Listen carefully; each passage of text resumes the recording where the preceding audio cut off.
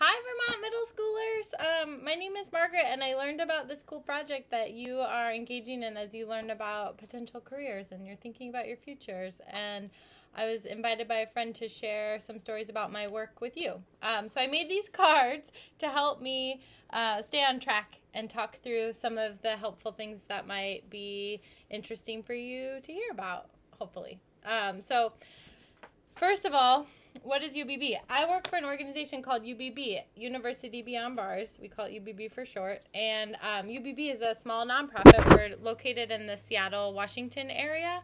And our organization serves incarcerated people in Washington State Reformatory, which is a medium security prison um, that's about 40 minutes outside of the city of Seattle. Um, the prison itself has about 800 people that live in it, and there it's on a it's at the Monroe Correctional Complex, which is a hill that has about five prisons on the hill. Um, and in this prison, we provide a number of services. Um, that are all related to education. So there's basically three pathways that we offer as an organization. The first pathway is our arts and lecture series. Um, so the arts and lecture series is once, uh, well, it's actually every other week, twice a month. Um, we have uh, teachers and educators and community members who are who work out in the world come inside the prison and tell stories about their work and help people stay connected to um, connected to and inspired around opportunities for learning. So, our big mission is helping people to be in learning communities together. And so, Arts and Lecture Series is a really fun way to do that. So, just once a week, cool seminars. Um, recently, some of my favorites are um, we had a Harry Potter literary series where um, actually there were two sessions of that where people talked about. Um, how they can relate to Harry Potter in their lives and talked about some of the um, literary merits of the book and other things around that. Um, but we also have things like sustainability or um, science or mindfulness or social issues that are happening, politics, um, current events, things like that. So that's the first thing our arts and lecture seminar series. Twice a month, just really um, low stakes. Anybody who wants to come can just sign up and come in the prison. The second thing we offer is what I call the enrichment pathway. And so we offer about 15 classes on a quarter system that our quarters are 12 weeks long. We have about 15 classes each quarter, and I would say maybe half of those are part of our enrichment pathway. And that means that those credits or those classes are not for credit. They don't count towards college, but they're a great opportunity for anyone who wants to be in a learning community to learn different things. So, for example, um, some of those classes include we have a studio art class where people come together and they paint on Monday nights, um, and they can just work on whatever kind of paintings they want, and they have other friends and colleagues and teachers who come in and help to teach painting skills. Um, we also have a debate class. It's a debate team that meets every Sunday, and they um, practice their debate uh, skills and, and engage in research around different different topics so that they can present a strong argument. Um, we have other classes like computer skills classes and entrepreneurship classes or graphic design classes. Really, what students are interested in, they can bring to our organization and say, hey, can you offer a class on this? And then we try to find a teacher who can do it. Um, and that, that's our enrichment pathway, not for credit classes that are just helping people um, have learning experiences and learning spaces in their lives and um, just an opportunity for growth. The third pathway that we have is our credit bearing pathway. So we do a lot of college coursework, um, and many of our students are working on their Associates of Arts degrees. So we have a partnership with Seattle Central College, which is a college in this area, um, and they help us to facilitate um, credit bearing associate's degrees. And then we also have a partnership with a college called Adams State University, where we work with them to deliver Bachelor of Arts um, degrees. So we have about 15 students who graduate each year so far, um, the last few years, um, as part of our associate's degree pathway. And um, we have about 60 students who are in that pathway total. It takes a lot longer to get a degree in prison um, than it does on the outside of prison um, because the the access to resources is just a lot more difficult. So we aren't able to offer as many classes inside the prison as a regular college campus m- might, but we do our best to get people through the degree pathway as fast as we can. So we have about 60 working on their AA degrees right now, and we have about 30 that are working on their bachelor's degrees right now. And we're really proud of all of those students and the hard work that they put in. Um, the prison environment is not always the most supportive environment for going to school, and so um, it's a pretty amazing thing that our community members have made such a commitment to that. Um, just another thing about those three pathways, I'll say, is that many of our students have had an interrupted experience with education. So, you all, as seventh and eighth graders, um, you might be able to imagine a really hard day when you don't want to go to school anymore. And some of the students that I work with actually did stop going to school at a young age, and this is their way of getting back in the classroom and kind of getting back on that academic pathway. And it's really important um, to them to be able to do that. So that's what UBB is. Um, we're an educational program that works inside a medium security men's prison in Washington State. Um, prison, whoa! Um, often when I tell people I work inside a prison, uh, folks have a lot of questions about that. So I just wanted to name um, that many people are touched by incarceration incarceration so maybe some of you who are watching this have a family member who is incarcerated and and maybe some of you have a neighbor or a loved one or someone you know um, there are 2.2 million people in america who are incarcerated and in washington state where i live there's 16000 incarcerated people um, in my state so um, it's a lot of people who are impacted by this, and we really want to help people get out of prison. And going to school is a great way to help people set up a really strong path for when they release from prison. Um, the prison where I work is a medium security prison, so it means that a lot of the people I work with are serving long sentences. Um, so I have folks who have more than three years to serve for the most part. Um, so, folks who may be serving a 20 year sentence or a lifetime sentence. Um, and we want to make sure that everybody has equal access to learning spaces because that's really important. Um, some, well, maybe that's the next one. College. Whoa. Some people say, well, why give college access to people who are serving a life sentence in prison? Like, what are they going to do with that?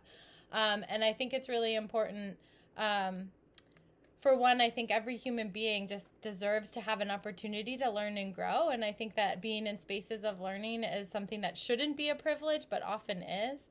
And um, so the spaces of learning that we get to create are um, really a, it's a powerful community inside the prison and and we found that folks no matter their sentence have influence over their community um, being able to make a positive choice like investing in your own education and learning and growth is something that's really powerful.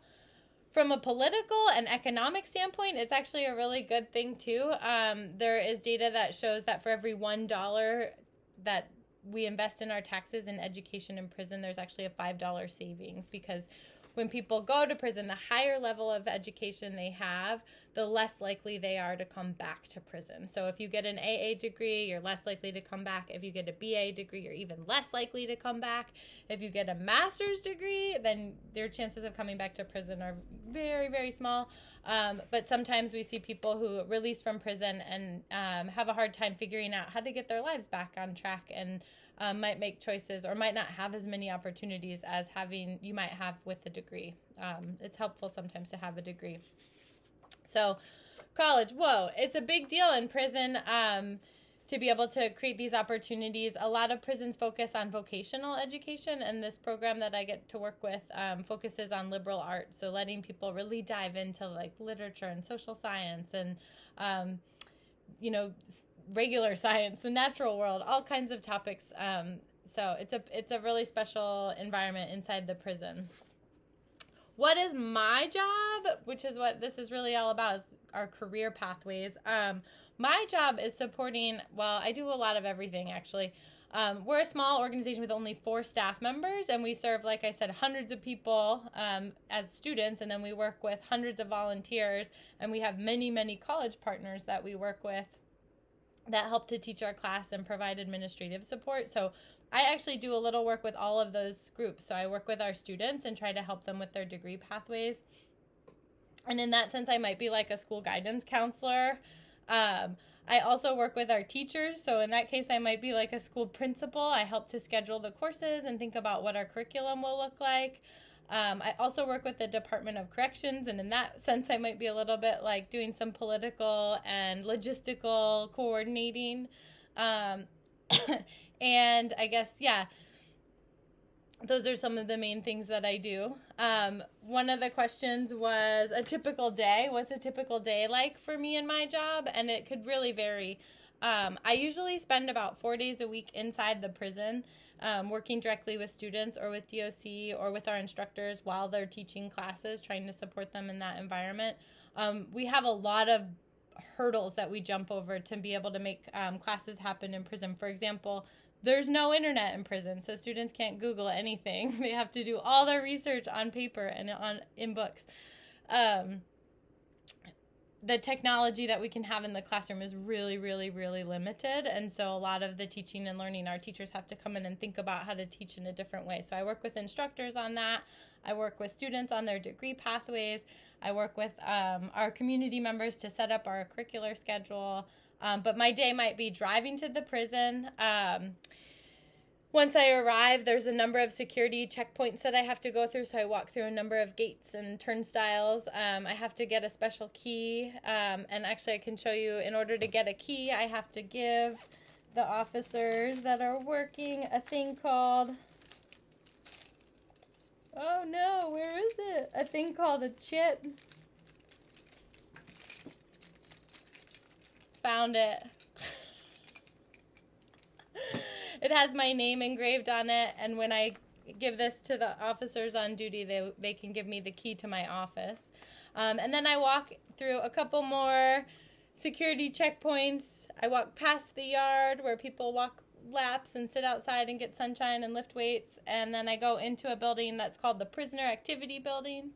And in there is where we have our classrooms and my office. Um, and in that space, I work with students. I have meetings with um, DOC administrators, and then I am in the classroom a lot. Um, so the days are long. In prison, the day is set up in what is called programming blocks. So incarcerated people live in cells, and then they leave their cells and they go to that PAB, the Prisoner Activity Building, for different chunks of time. So maybe um, the from 7.30 to 10.30 in the morning and then they go back to their cells for what's called count and then they have a meal and then they come back out um, from 12.30 to 3.30 is the second programming block and we can have a class for that three hour chunk and then they have to go back for what's called count and then they have a meal and then there's an evening programming block from 5.45 to 8.30 p.m um, so my day is really dictated by those um, programming blocks and those chunks of time. So either i'm with students during those chunks of time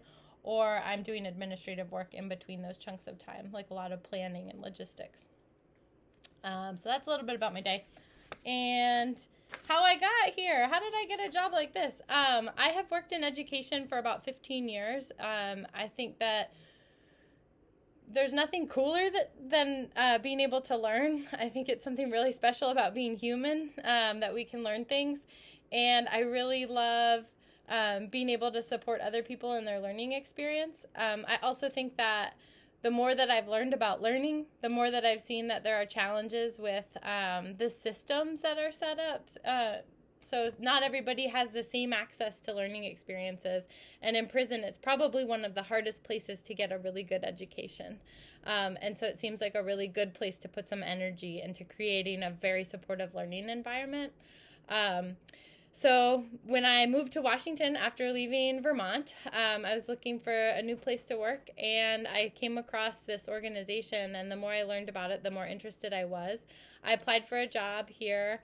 Um, I first had a phone interview with um, my colleague Joel, and then I had to go into the prison and have an interview with the prisoner advisory committee. So we have a, a, student leadership committee of incarcerated folks who help make decisions for the organization and who help us really like think about how to be um, in partnership in a way that feels really um, like we're not making decisions for people, but they get to have a lot of agency in the decisions that are made around how the program works. So they got to meet me and decide whether they thought that I'd be a good fit for the job. And um, and they did, which is really cool. Um, so now I've been with the org for about two years. It's the hardest job I've ever had. Um, prison is a place that makes me really sad sometimes. I think it's really difficult to be in an environment where people um, face so much hardship, but uh, being able to be part of a space of learning where people get to do so much growth and have a lot of agency over the changes they make in their lives is really, really special. So I feel pretty honored to be part of that. Um, and if you're interested, I think a lot of people are like, oh my gosh, I want to see what that's like and I want to know more and um, have a lot of questions. We do have a Facebook and an Instagram page that um, you can see pictures of some of our students, some of our projects, um, and some of our volunteers and community members. And there's also a couple of videos on um, linked on our website, universitybeyondbars.org, that have incarcerated um, graduates speak at doing their graduation speeches, and those are really inspiring and tell a little bit more about the organization and the work.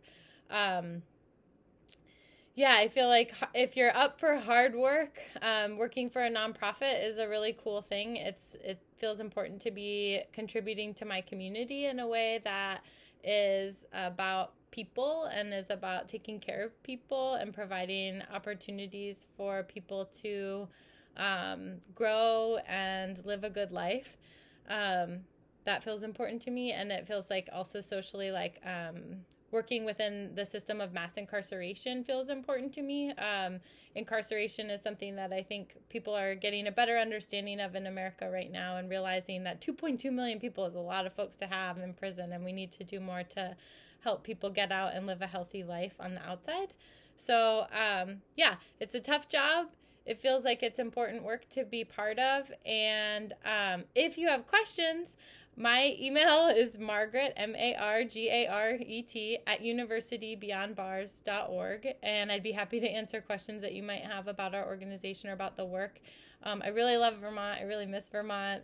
Um, and I'm really excited for the future careers that y'all will have and the change that you'll be making in the world and the positive impact that I know y'all will be having. So, um, thanks for your curiosity in my work, and I hope you have fun with this project.